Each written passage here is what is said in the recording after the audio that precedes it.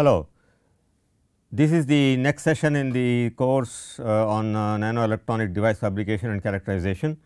What we did last time was to learn about carbon nanotubes and the CVD process. What we will do today is to continue a bit more about the CVD process and then we come to atomic layer deposition or ALD and then look at examples of nanostructures that are obtained from ALD. Now, at the end of the class last time I pointed out that there is a mundane application of the chemical vapor deposition process in making cutting tool bits that is coating on cutting tool bits for the machine shop. What they look like are, are this, this is a typical cutting tool bit for uh, cutting for example, high speed steel.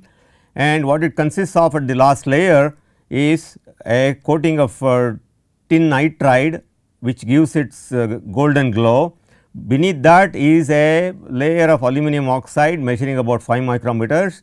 Beneath that is a titanium carbonitride coating, all of this sitting on top of several millimeters of a tungsten carbide cobalt uh, substrate, which really is the total cutting tool. This aluminum oxide layer at the top actually enhances the lifetime of this cutting tool by a factor of as much as 10.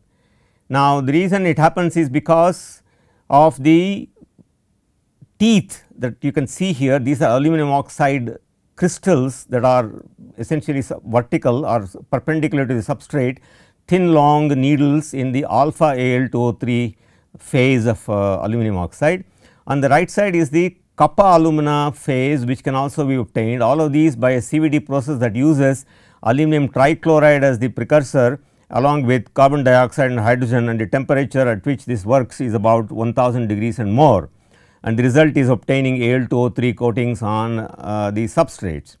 Now, what I want you to look at is that these are very thin long needles of Al2O3 crystals of Al2O3 which have the cutting uh, force necessary for cutting high speed steel and these are very thin in terms of nanometers although they are long several micrometers long. On the other hand, the kappa alumina phase which can also be obtained by the same process under slightly different conditions is also a hard material for cutting uh, metals and that consists of essentially nanometric grains of kappa alumina which is an orthorhombic phase of aluminum oxide. Uh, I want to point out that this is a very effective cutting uh, material kappa alumina and the nanometric nature of it gives it additional mechanical advantage. Now, we come to look at a phase diagram of carbon which is the equilibrium phase diagram of carbon where pressure is plotted on the y axis and temperature on the x axis and different forms of carbon allotropes of carbon are plotted on this graph. Now, what I want you to see is that diamond is a high pressure high temperature phase of carbon that is under equilibrium you need high pressure and high temperature to obtain diamond otherwise it is mostly graphite. But at this lower end corner over here is a region where the CVD process is capable of producing diamond instead of at high pressure and high temperature these are at a much lower temperature and much lower pressure. So, CVD has the capability to produce metastable diamond under these conditions and it is actually a process that is used today in producing films of diamond for various purposes including abrading. Now, this is the kind of a chamber CVD process chamber in which such depositions can be done. Actually carbon allotropes can be synthesized by thermal CVD different carbon allotropes by which I mean diamond, graphene and carbon nanotubes. So, these are different allotropes and all of that requires a hydrocarbon and excess of hydrogen in the chamber and typically a catalyst especially for carbon nanotubes and graphene it requires a catalyst and the deposition temperatures typically range from 700 to 900 degrees or slightly above. So, the same thermal CVD process is capable of giving us different allotropes of carbon. Now, let us look at that a little bit more. It involves the use of hydrocarbons saturated and unsaturated like methane, acetylene, ethyl alcohol and so on and nanometric diamond that is diamond films which have grains of diamond in the nanometric range can be produced at low pressure and high temperature in great excess of hydrogen by the CVD process. Now, carbon nanotubes call for low pressure and moderate temperatures and the presence of a catalyst especially a transition metal like iron nanometer crystals of iron as the catalyst. Graphene which is a most recently discovered allotrope of carbon which is a single layer of graphite carbon atoms requires low pressure, moderately high temperatures and especially on copper substrates. For example, with copper acting as a catalyst exactly one layer of graphene can be deposited on copper by the CVD process and further reaction is inhibited because copper is then completely covered by a monolayer of graphene. Therefore, using a copper substrate and the CVD process is very efficient in giving us a monolayer of graphene on which a lot of work has been done recently. Now, graphene what we are looking at is a photograph of a graphene layer produced by CVD in transmitted light. In the middle you are seeing a monolayer of graphene and you are able to see that because graphene monolayer of graphene absorbs 2.3 percent of white light and therefore, one is able to see graphene and then next to that is a bilayer of graphene, two layers of graphite uh, on top of each other. So, that is a bilayer of graphene.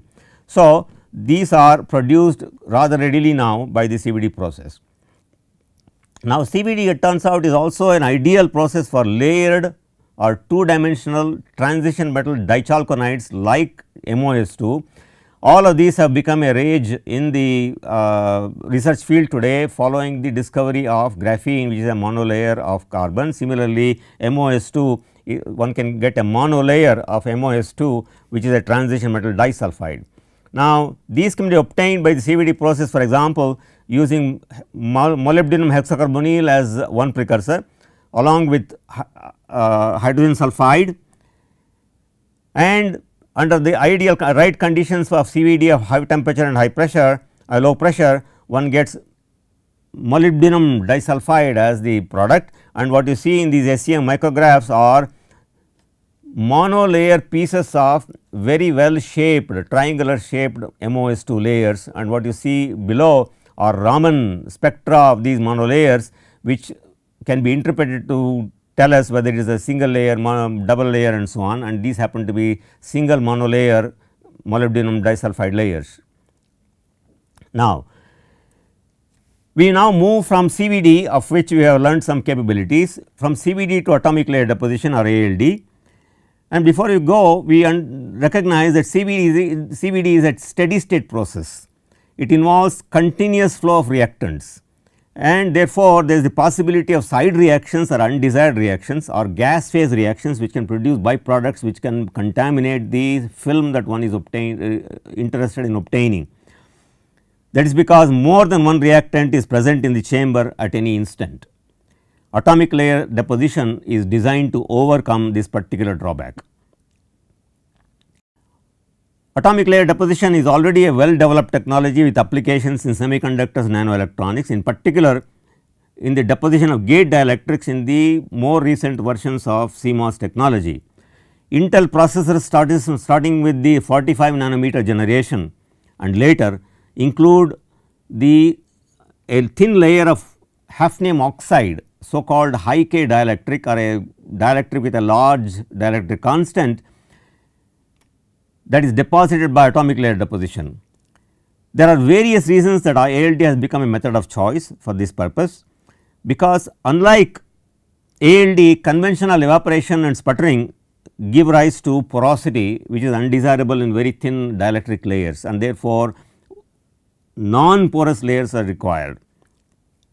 In addition ALD produces layers of extremely uniform and reproducible thickness, low stress and low defect density allowing for growth on amorphous substrates also. Furthermore, besides VLSI production, ALD has proven essential to the deposition of gate dielectrics on device substrates without native oxides such as germanium, gallium arsenide and gallium nitride. What is shown here in the micrograph is a structure that is obtained that is part of the uh, Intel technology where the high K dielectric HFO2 of thickness less than 5 nanometers is deposited by ALD and then the gate electrode is titanium nitride also deposited by ALD. This next micrograph shows the capability of ALD in really producing conformal coverage of very high aspect ratio features that are common in today's VLSI devices. So, what is shown here is a thin layer of tungsten nitride that is covering this deep trench and that is insulating copper which is the metallizing layer from silicon. Copper diffuses rapidly into silicon affecting device performance and therefore, the tungsten nitride is used as a diffusion barrier very thin diffusion barrier that is now covering this very deep trench in a very conformal fashion only ALD can do this. ALD is also used in DRAM manufacturing for example, by Samsung and what is shown here is a structure again with a deep trench. So, this is so called DRAM trench where one has a layer of atomic layer of aluminum oxide that now separates silicon from copper. So, therefore, ALD is capable of covering very fine features conformally that is those features are present in today's VLSI devices. What is ALD? We have shown examples. What is ALD? ALD may be defined as film deposition technique based on sequential use of self terminating gas solid reactions. So, the operative thing is sequential use of self terminating gas solid reactions. As I said in CVD there is a continuous flow of all the reactants involved whereas in ALD by contrast there is a sequential flow of or pulsing of reactants into the deposition chamber. ALD is a chemical process and is a variant of CVD actually because chemical reactions are involved and ALD as I said is suitable for depositing very thin layers including a monolayer of inorganic materials such as oxides. ALD is suitable for depositing extremely thin layers over large areas. So, one advantage is that it is capable of producing very thin uniform layers on substrates as large as 300 millimeters which is today used in VLSI manufacture.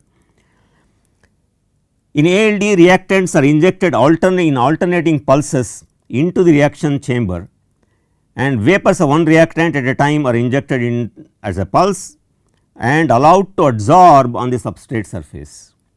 Under optimum conditions one monolayer of each precursor absorbs onto the surface uh, resulting in a self limiting adsorption process. It depends on a self limiting adsorption process.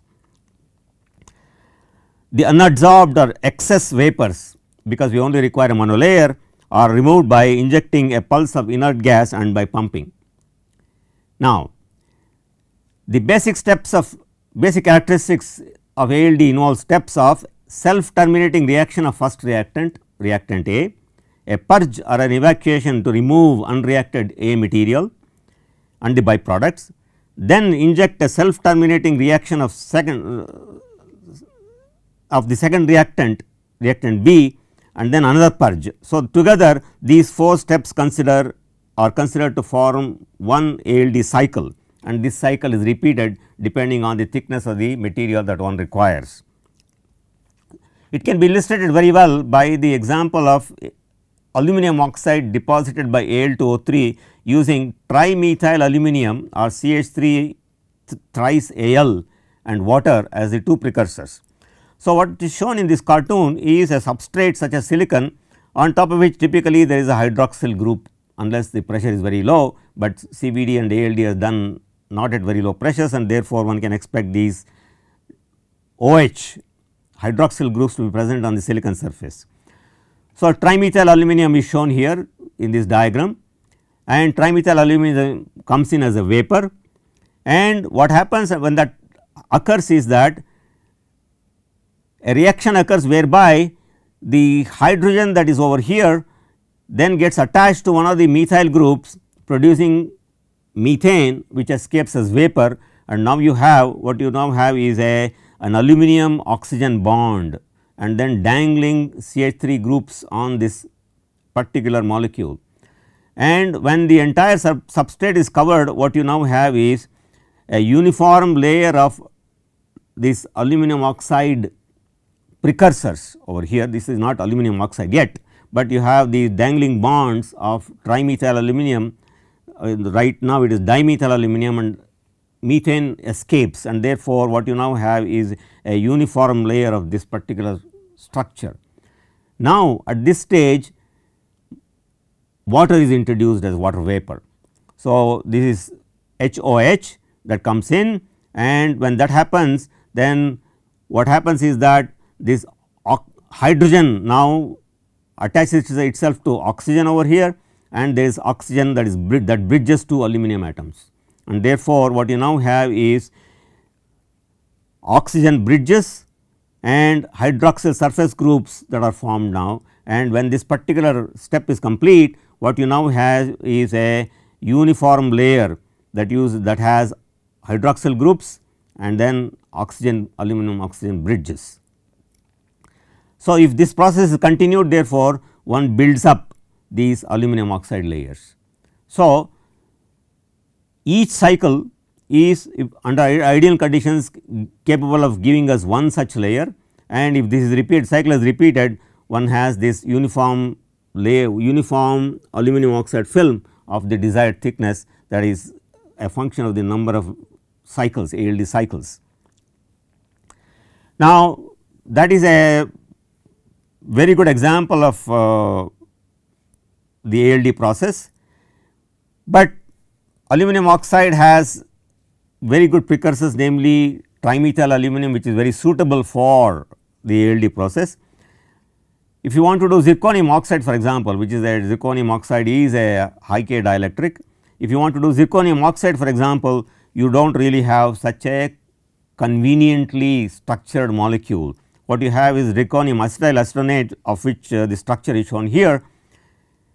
Now, this is much less suitable for the ALD process as we shall see later.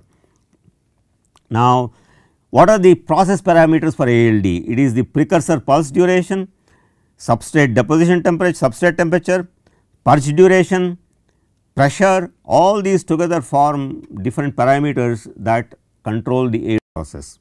The chemical nature of the precursors, the precursors themselves of course is fundamental.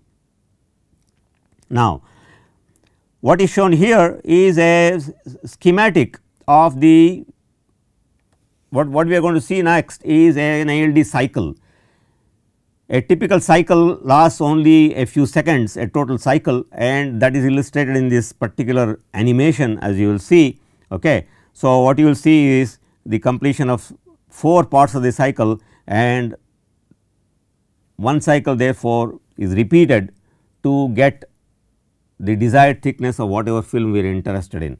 So, thickness is proportional to the total number of ALD cycles. So, that is the primary metric we have for measuring the thickness or controlling the process.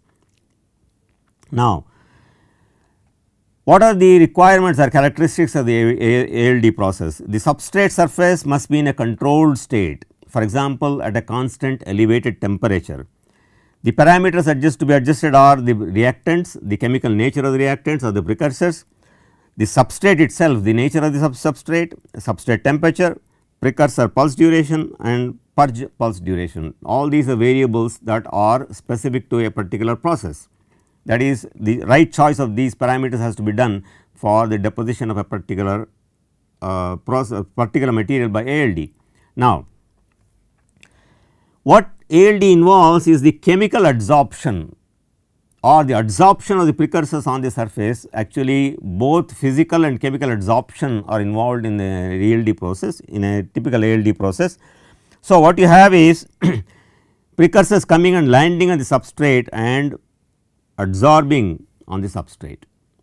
Now, there are different kinds of adsorption mechanisms or chemical processes that involved when the next precursor comes in that is you have one layer and the next precursor comes in what can happen is ligand exchange. So, a part of the molecule that comes in then exchanges a part of the molecule that is already absorbed, absorbed and that is called ligand uh, exchange and therefore, what you are left now is with this kind of a layer as in the case of aluminum oxide or you can have dissociation. So, the incoming molecule or incoming precursor molecule dissociates and therefore, you have a different kind of a chemical circumstance on the substrate or it can be association the incoming molecule then gets associated with what is already on the substrate and you have an association. So, these are different cases. Now, what we saw in the case of aluminum oxide represents ligand exchange that is we now have CH3 thrice Al and then HOH or uh, water molecule and what we now instead get is out of that a methane molecule and then the dangling bonds of trimethyl aluminum on the surface. So, this is a case of ligand exchange and it turns out that ligand exchange of this sort is more suitable to obtain uniform layers with uh, ALD process. Now, as I said ALD involves a self terminating surface reaction of an adsorption process. Now, it is possible to consider different kinds of self terminating reactions. What I shown here are the amount of adsorbed material as a function of time in 5 different types of adsorption.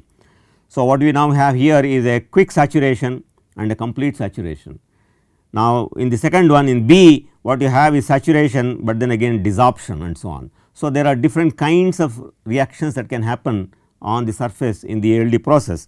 What is desirable is in ALD chemisorption by ligand, exchange is preferred because it provides us with this rapid saturation and stable saturation as in the figure A over here.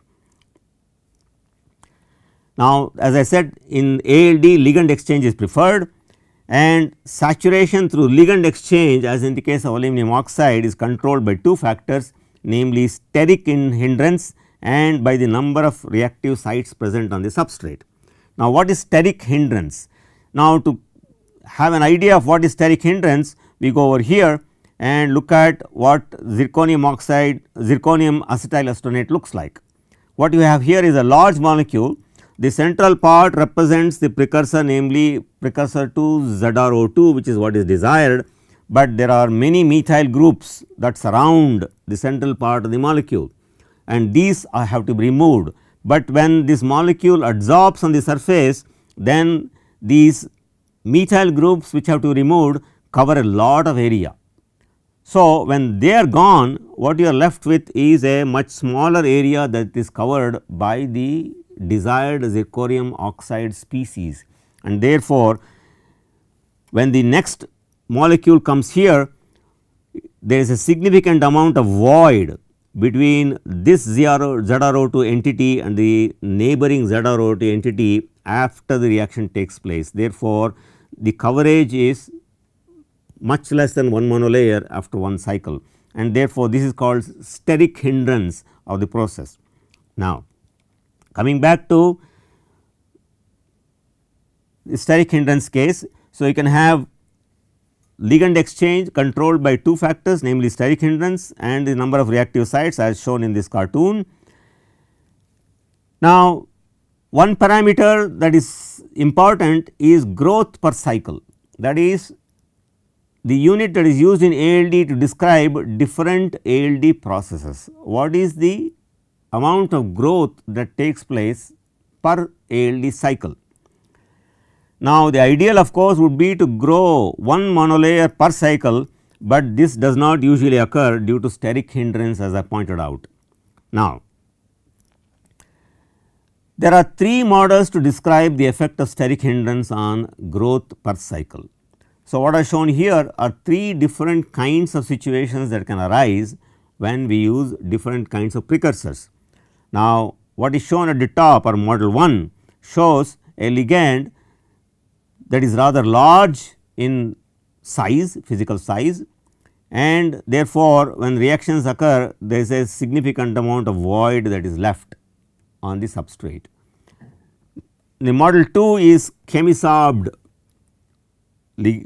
large molecule over here and when that happens as the adjoining figure shows there is a significant amount of void much more than in the case of model 1 a significant amount of void on the substrate as in the case of the zirconium acetyl acetonate that I mentioned a while ago. So, this cannot lead to a complete coverage in one cycle. Now, model 3 is the one where the size of the ligand molecule here is small and therefore, you now have a coverage of the substrate that has much less void than in model 1. Therefore, what is ideal for atomic layer deposition is model 3 where you can approach a significantly greater degree of coverage of the substrate per cycle. Now, let us look at the numbers. Now, as I said the case of Al2O3 using trimethyl aluminum and water is rep represents this kind of a situation is represented by this kind of a situation where you now have a significant of amount of coverage per cycle. Now, the zirconium acetyl acetonate as I already told you represents this kind of a case where there is a large amount of void and therefore, the percentage coverage of the substrate per cycle is bound to be less than in the case of model 3. Now, in model 1 which is where I have shown these large ligand molecules, just a few processes can be assumed as model 1. There are not many examples of that and when that is used 25 percent of a monolayer is formed per cycle.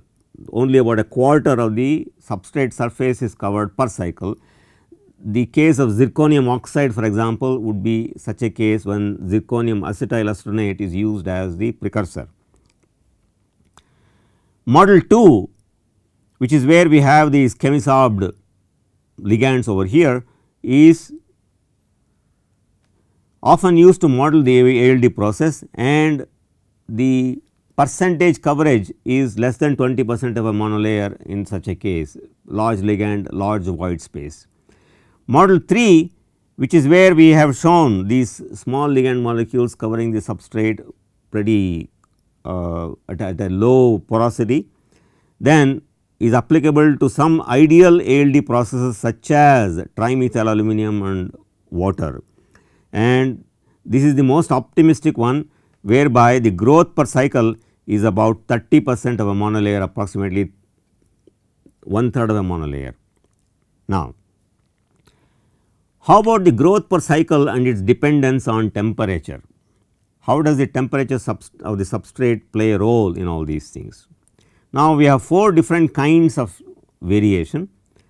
One is where the growth per cycle reduces as the temperature is increased.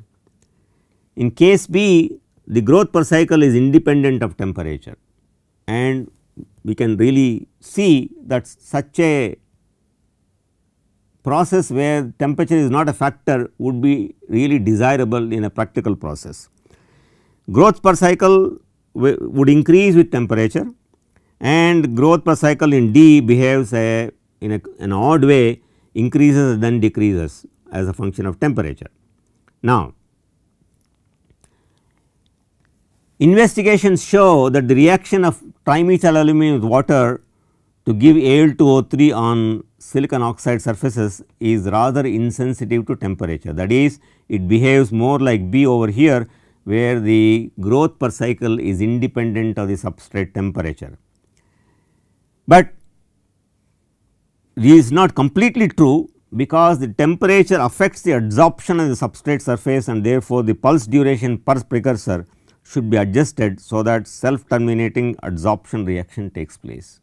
So, nevertheless, aluminum oxide using trimethyl aluminum and water represents a very good process that describes a temperature independent growth per cycle.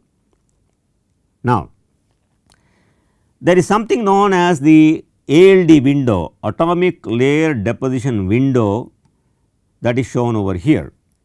What is shown here over here is the growth rate that is the growth per cycle as a function of temperature.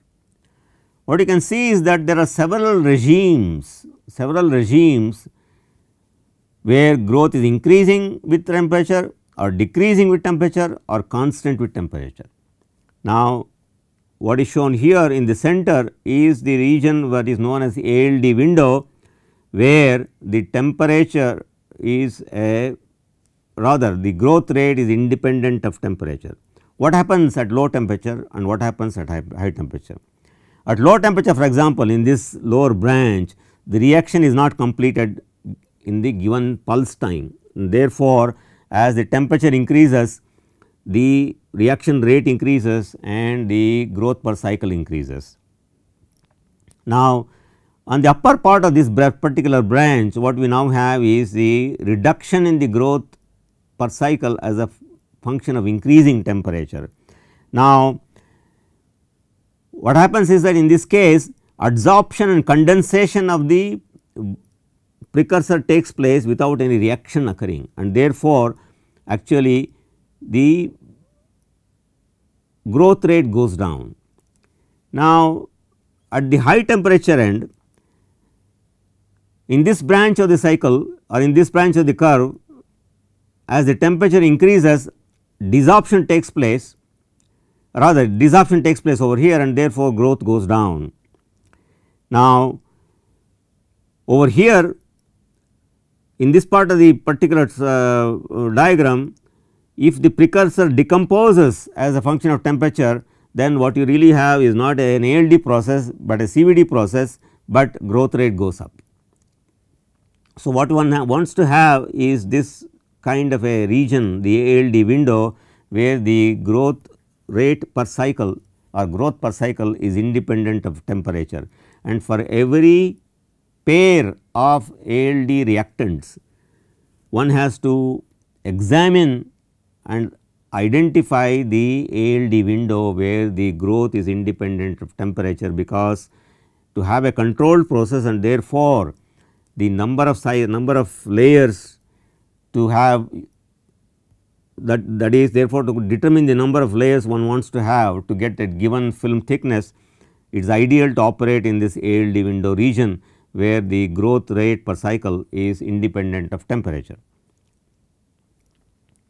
Now, what about the precursors? What are the requirements of chemical precursors? After all, this ALD is a chemical process. So, what are the requirements of the ALD process? Now, one can think of describing the two precursors by different terminologies. Ligand precursor, ligand precursor is used to prepare the surface of the next for the next layer and it defines the kind of material for growth. For example, water for oxides, nitrogen for nitrides and so on. Remember uh, we came across aluminum oxide, we also came across titanium nitride in the Intel device and therefore, nitrides are also materials that can be deposited by ALD. So, nitrogen would then be the ligand precursor for forming nitrides just as water is for oxides. The so called main precursor is the metal containing precursor. For example, trimethyl aluminum that we came across and generally one wants to choose a reactive considerably reactive and significantly volatile compound of a given metal as the ALD precursor that is also stable that is it does not decompose at the temperature of the substrate. Therefore, it is important to identify the main precursor that is required for main or the metal precursor that is required for a given process.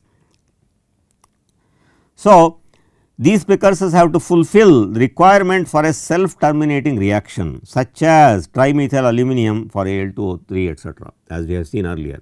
So, these are pretty stringent requirements for identifying ALD reactants for a particular material Fortunately, there is generally speaking a considerable choice of these materials for main precursor. For example, if one wants to do titanium dioxide layers by ALD, then a compound known as isop titanium isopropoxide is suitable for this purpose and it can be used successfully as the metal containing main precursor for TiO2 deposition. So, ligand precursors as I already said H2O for oxides, it can be oxygen also. Sometimes it is advantageous to have ozone because that gives oxygen radicals which can really speed up reactions. It can also be an alcohol through which one can obtain the hydroxyl group OH group over here. For nitrides the ligand precursor would be ammonia and nitrogen. And as I said already for the growth of pure materials that is for the deposition of materials that are contamination free then the ligand precursor should be selected that is appropriate for the main precursor. So, in other words the choice of precursors is very very important.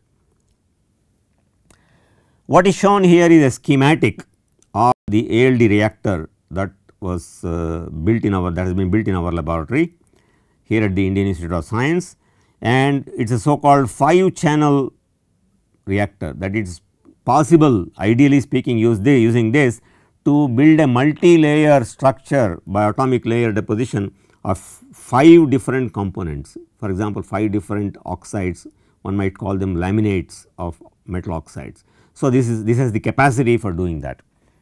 Now, what this one shows is the photograph of this system that of which the schematic shown is shown here. What you see a lot of over here this is a close up what you see a lot of are pneumatic valves because a significant part of ALD technology involves fast closing and fast opening pneumatic valves. So, that precursors can be pulsed into the reactor very quickly. So, that the total duration of the cycle itself is just a couple of seconds or 3 seconds or 5 seconds. So, it is very important to have these high speed valves. What is shown here is the photograph of a system that can do both ALD and CLD, CVD. So, this is the deposition chamber and all of this is uh, valving as I said high speed valve mecha mechanisms for making uh, for switching rapidly between precursors and these are sources where or these are uh, chambers in which precursors are kept at constant temperature. So, that the dosage in each pulse is exactly the same. So, what are the features of ALD to summarize? Now, due to self limiting growth mechanism ALD has these following features digital control over thickness which is proportional to the number of ALD cycles as we already mentioned. It is also unlike CVD independent of the flow pattern of precursors. One of the big problems with CVD or at least a, an important issue in CVD is the design of the CVD reactor so that the flow is proper in order to obtain uniform layers of or layers of uniform thickness. But in ALD since we are pulsing the precursor there is no flow and therefore, all we need to do is to ensure enough of reactant supply through pulsing. Conformality and trench fill capability I have shown already through SEMs earlier of the conformal coverage that ALD is capable of giving and the trench fill capacity that it has got. Excellent large area uniform deposition.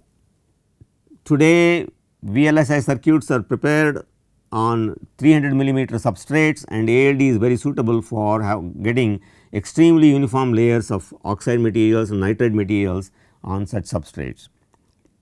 Reproducibility and relatively straightforward scale up that is one can easily scale up from a small substrate to a large substrate as it has already been done in the VLSI business. Now, because of independent supply of precursors since the precursors are separated in time and space that is two precursors are not in the same chamber in the same at the same time in the chamber at the same time gas phase reactions are reduced or actually eliminated. So, ALD therefore provides layer by layer growth either a full monolayer or a fraction of a monolayer generally a fraction of a monolayer at a time and material composition may be controlled down to the nanometer level and in ideal cases even to the atomic level that is one single layer it is possible to obtain of a given material using the ALD process. So, this offers a simple way to create superlattice and other multilayer structures or so called nanostructures and nanolaminates. Let us look at some of the examples of nanostructures and nanomaterials from CVD and ALD. CVD first. What are shown here are micrographs scanning electron micrographs of a CVD process that uses iron acetyl acetonate to produce slightly different materials using pressure as the control. What you have in the left over here top left over here is a process that is conducted at 5 torr relatively low pressure and what we get here it turns out by analysis is iron oxide Fe3O4. When the pressure is raised to 10 torr the growth of carbon nanotubes begins simultaneously that is one gets a simultaneous deposition of iron oxide and carbon nanotubes over here. And when the pressure is increased further to 30 torr then there is a very intimate intergrowth of iron oxide and carbon nanotubes which turn out to be multi-walled carbon nanotubes. So, this is an example of growing a composite material that contains carbon nanotubes using the CVD process. Now, these are transmission electron micrographs of such a film over here as in the bottom. So, what you see is complete intergrowth of iron oxide and carbon nanotubes as you can see here over here. Okay. So, it turns out also that iron particles are embedded within the carbon nanotubes which actually catalyze the growth of carbon nanotubes in this particular process.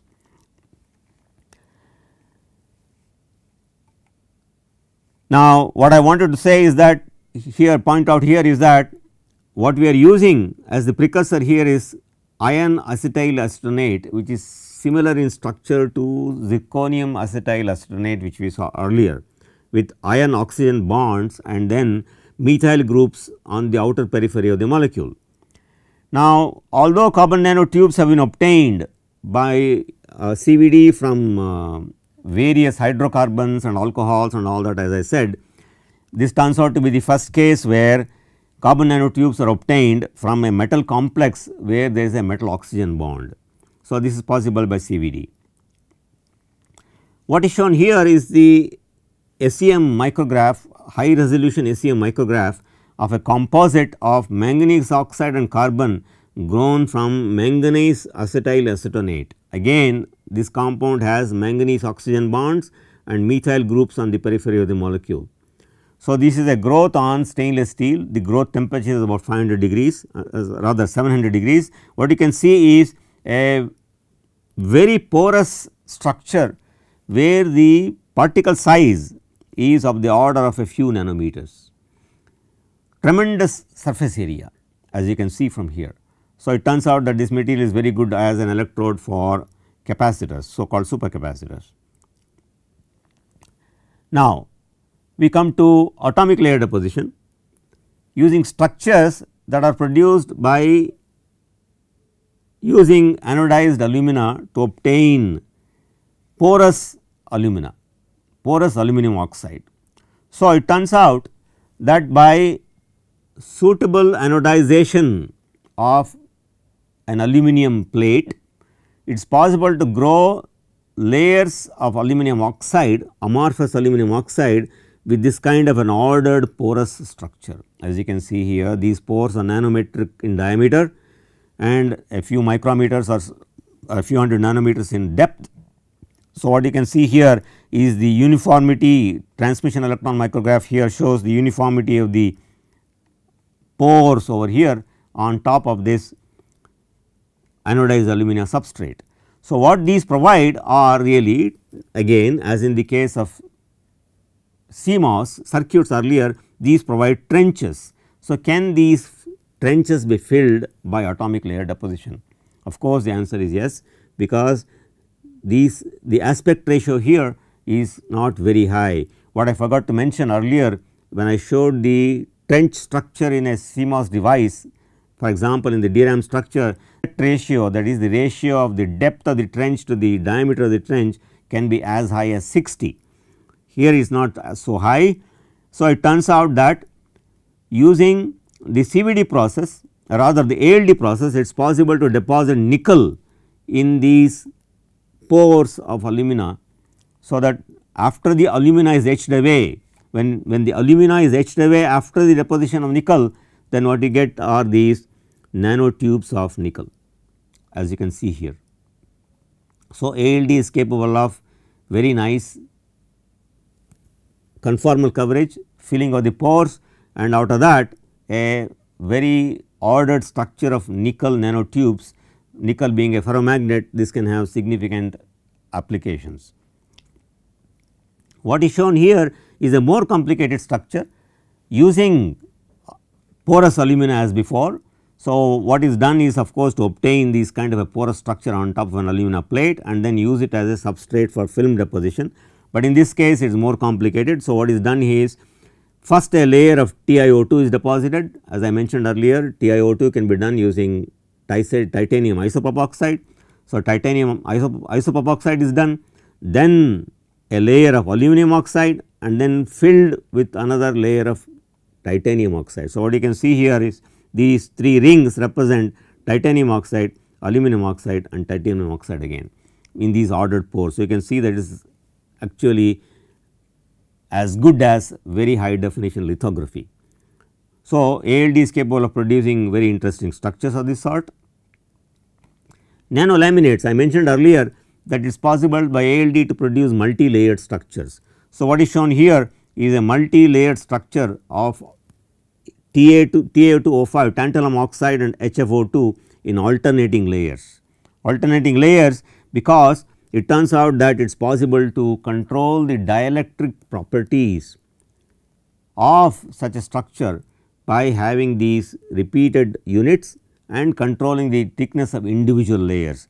Therefore, it is possible to tailor the dielectric properties and it is possible to obtain nanolaminates with a desired dielectric constant and desired set of dielectric properties. And it also turns out that ALD is capable of producing accurate and abrupt layering that is a layer of HFO2 and immediately with very little interface a layer of TiO2O5 etc. So, nanolaminates from ALD is, a, is possible. Now, another example so called custom made catalyst. You know catalysis is a very important part of technology and it is possible it turns out using ALD process to design catalysts, nanometric design of catalysts, custom made catalysts. Now, so what one does is to start with an inert substrate, let us think of it as some kind of a sphere and that is coated with a so called active support. And then the catalyst that we want such as for example, platinum is coated on this you can see that this catalyst is now platinum particles are coated by ALD and they cover this substrate over here. And then ALD is used again to stabilize this thin layer of the catalyst. So, you have 4 steps over here and let us look at look at an example that illustrates what is being done. So, what is shown here on the left in, in green is a high resolution scanning electron micrograph and by the side of it are transmission electron micrographs of the same thing. So, what we have are cubes of strontium titanate it is possible to obtain nanometric cubes of strontium titanate. Strontium titanate has a cubic structure and therefore, the morphology of cubes in nanostructures is a natural for strontium titanate although it is not easy to produce them. And then what is done is using ALD you can see that there are specks speckles of platinum on top of these cubes. So, these transmission electron micrographs show clearly that there is this tiny platinum particles and therefore, very, very large surface area for them given that they are so tiny and excellent as catalysts. So, this TEM micrograph here actually high resolution uh, HRTEM so called HRTEM shows fringes which represent that these platinum particles individual platinum particles are actually single crystalline. So, it is clear from this example that it is possible to use ALD to produce custom made catalysts using nanostructures. Finally, we can go to an example that may be called a play LD. as opposed to ALD, play ALD. One can play with ALD to produce interesting structures. What you have here is deposition of Al2O3 and inside and around a tobacco mosaic virus 300 nanometers in length, outer diameter 18 nanometers, inner diameter 4 nanometers. All this grown at less than 80 degrees Celsius by ALD.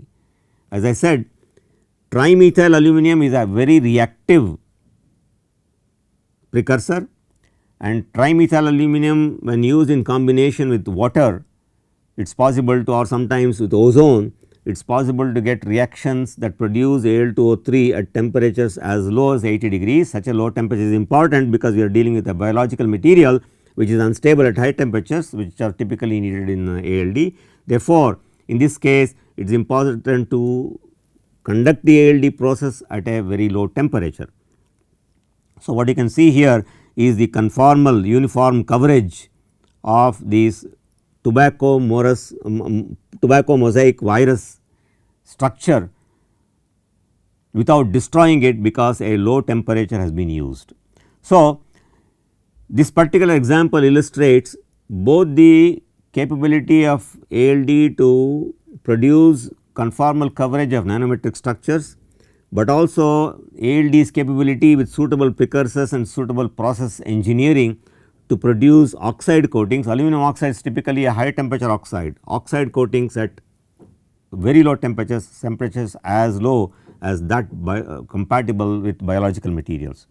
Therefore, what we have learned in this particular session is about the ALD process, atomic layer deposition process, what you have learned is that it is dependent on self terminating reactions and sequential such self terminating reactions that are repeated in cycles so as to produce layers of great uniformity in thickness as well as layers that cover large substrates and also it is possible to produce multi-layer structures and laminates because of the great uniformity that atomic layer deposition provides.